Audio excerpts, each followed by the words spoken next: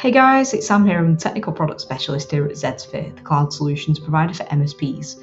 So today we're going to be taking a look at the fourth video in the series of Ninja RMM how-to videos. We're going to be covering reports. So we're going to be looking at how to set up your reports within Ninja RMM, the different types of report report customization, um, how to view reports and change the report logo, and also how to view historic reporting and download them as a PDF. So you can see here guys, this is the dashboard. So this is the first page that you see when you log into your Ninja console. To access the reporting edit, we're going to go straight into configuration and reports. You can see here guys, I've already got four reports that I've already previously created. I'm going to show you the edit for a report just so you kind of get a feel of the report itself. So we've got four different types of report. We've got a regular, executive summary, asset summary, and patch compliance. Now, I'll go through those in a little bit more detail when I generate the reports because you'll see them and kind of how they look. Um, so each report always requires a name. You select your organization that you want the report to bring up the data on, and then you select your users within Ninja, um, and then you've got the send to emails option. So if you guys as MSPs decide not to give your customers a Ninja logon, you can just send it to their email address direct from Ninja and this will just reoccur. So if you set this report to recur monthly, it will just reoccur monthly and constantly send out that report monthly. So you can select the recurrence here. You can select the scope. So you can do last month, last three months, last week, this month, or custom. The language can be set to English or French. You can recur it every so many weeks or months or days. Um, if you do it monthly, you can choose the day of the month which you want the report to recur on and a time to send the report at. Um, and then you've got a never for ending, or you can choose it to end after or on a certain date. The email body is a really good little thing, guys, because you as MSPs want your customers to feel valued and you want them to feel like they're important to you. So you can customize this email body to make it really quite custom to them. These sections at the bottom are completely customizable, so you can turn them on and off and you can select whichever ones you want or don't want. With an executive summary report, you don't have the options at the bottom, and that will become apparent when you see the report because it brings up a specific data. The asset summary report obviously has different options to the regular report, and so does the patch compliance report. So let's take a look at each different type of report. Now, you've got two options to view a report. If you click generate, it will download the report. If you click view, it will open it in the browser. So this is a regular report. We can change this logo here, and I'll show you to do that after we've looked at the reporting. You can see the name of the report and the organization that it's reporting on, plus the date schedule here. So we can see how far on the date that we've actually reported over a session for. Um, we've got the device overview by device type, so five Windows desktops, um, BIOS, script run so we can see which actions and which ones are reboots, top 10 devices with those reboots and actions on, antivirus protection status, so we can see that we're 100% protected, so we've got five protected devices.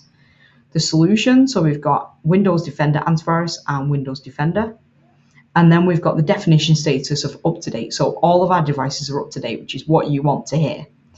Antivirus deployments. So this is a really neat little feature that Ninja added within the reporting. So you can see all of the different types of antivirus on here next to the name of the devices with the state, the definition status, and the last check-in.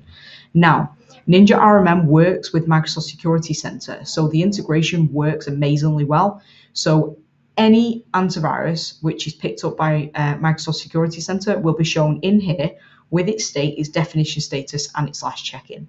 I think that's pretty awesome, to be honest, guys. You've also got product keys at the bottom here, so you can see your OS product keys within this report.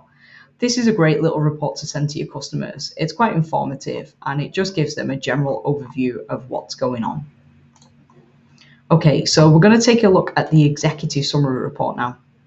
So this is a lot less wordy for your customers who don't really like to be bogged down with a lot of information that they might not understand.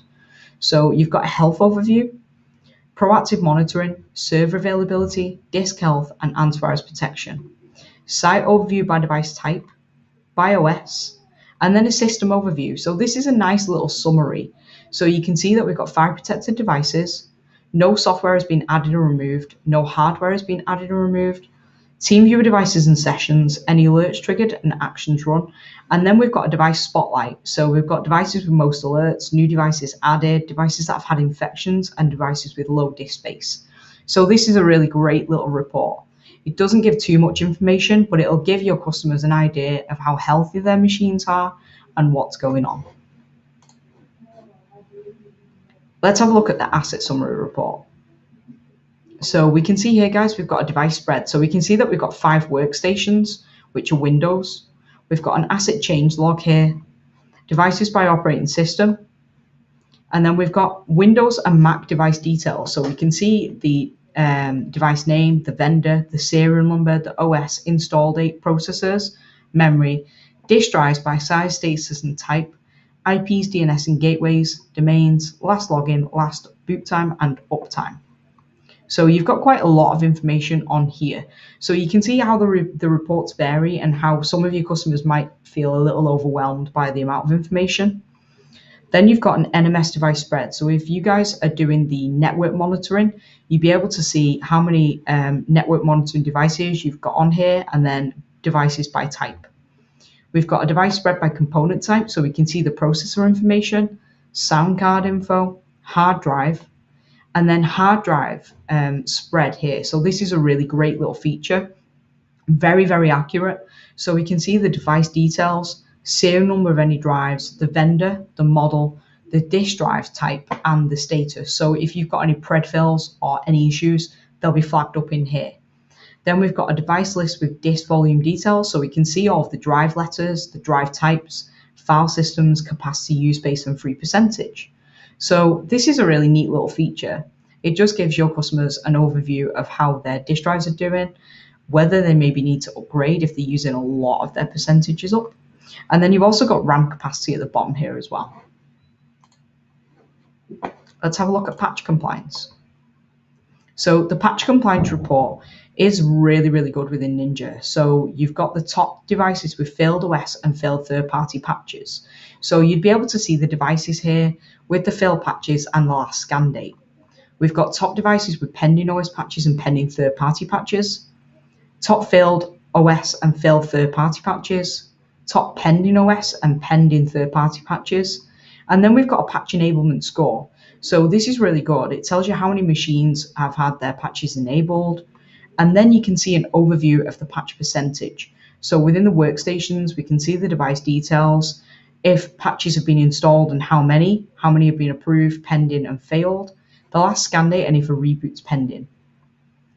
Servers. So if you're monitoring your network monitoring um, servers here, you'll be able to see all of that information for your servers as well as your desktops or your devices. And then we've got a patch status, so we can see how many patches were installed in total, how many of those were OS and how many of those were third party. And then we get a nice little overview with a patch compliance score at the bottom. Historic reporting. This is a really awesome feature that Ninja added in. So if your customer rings you up and says, MSP gods, I'm stuck, I've lost my report for two months ago, and I think something may have changed there. Can I have that report sent to me? Yes, you can. So you guys can come into Ninja, you can filter by name or organization. You'll be able to view all of your historic reports here. And on the right hand side, you'll be able to view those as a PDF, which means you can then send it on to your customer in an email. Job done. Happy days, MSPs. To change the logo within your reporting, you just need to go into settings and click change. And you can change that logo to be your company's logo, make it a little bit more custom. That sums up the reporting for Ninja RMM. Now that you've watched the video guys, you might have a million and one questions and want to know more. If you want to know about any of our other products or Ninja RMM, feel free to get in touch. My details are on the screen right now. You've got my email address and my phone number. Also, don't forget MSPs. If you sign up as a Zedsphere MSP partner, you get some great benefits.